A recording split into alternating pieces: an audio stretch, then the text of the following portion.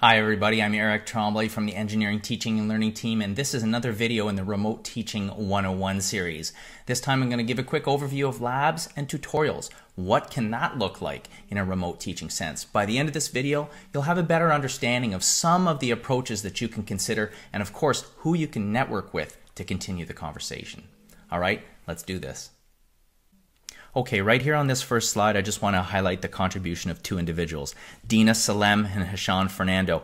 They're both members of the engineering teaching and learning team, and they have advanced degrees in engineering, and they are the folks that we're involving most directly in conversations around labs. It doesn't matter what department or what program you're in, definitely coordinate with Deena and Heshan about what remote teaching can do to your labs. Now, I'm just going to give you a quick set of ideas here. So, first of all, a lot of people are going towards this idea of looking at what's already in the market. What virtual labs or simulations are already present in an open educational resource or by a vendor? Of course, the Faculty of Engineering and Applied Science is signing a deal with this Quanser vendor. They provide virtualized learning objects for robotics and control systems, but there are other fields as well other vendors like Labster, the PhET, other ones out there, certainly anything that you can find that's an open educational resource that might be able to virtualize an element of your lab or simulate an element of your lab is a real win. Another approach that a lot of people are gravitating towards is let's make a high quality video demonstration of the lab and then we'll ask the students to watch that and then we'll provide them some real life noisy data sets to interpret after the fact. They can still do a lab report in this fashion and also, we're investigating some very novel approaches where we would actually do, instead of a video demonstration that is, let's say, recorded, we could possibly do one live. So stay tuned. And you can also take an approach where you could assemble a hardware kit and you can ship it to students. So we've had some good success in the past with using Arduino kits, sending those to students, and then having them use that microcontroller and the associated parts with it to do experiments in a home setting.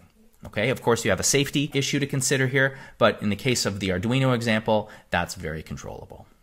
In addition to labs, you also have to think about tutorials. So, Josh Woods had a very fantastic quote that he passed around to the dean recently, and I thought I would share it with you. And before I do, I just want to tell you this is a technique you can use in your videos. Tell the students to actually pause the video. So I'm going to put the quote on in a moment, and I want you to pause the video and I want you to read the quote, okay? Go ahead, pause the video now.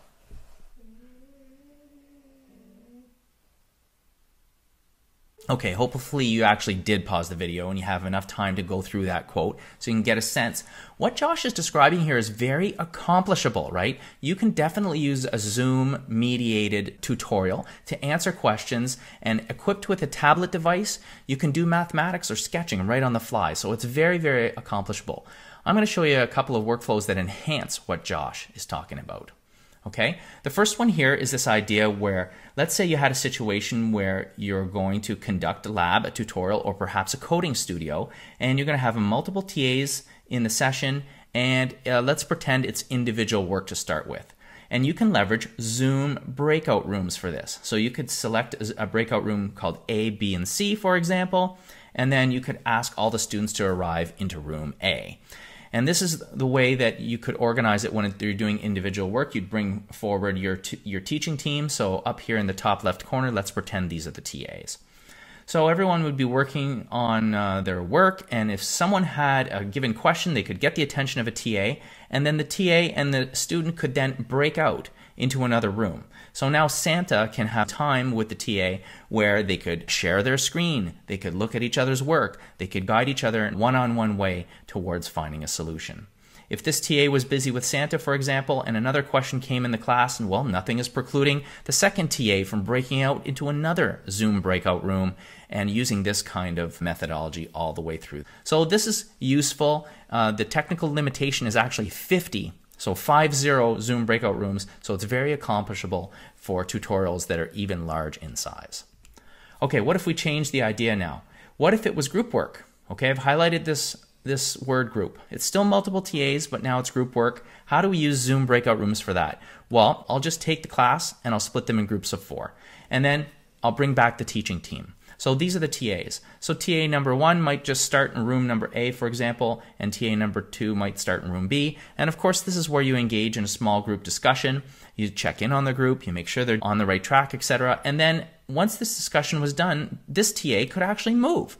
You know, you could move from room B over to room C, uh, you know, rotate basically, just like you would in a physical space where you'd go across the room. While that TA moves to room C, certainly uh, the other TA would then rotate as well. So the TAs could just rotate around the room like that.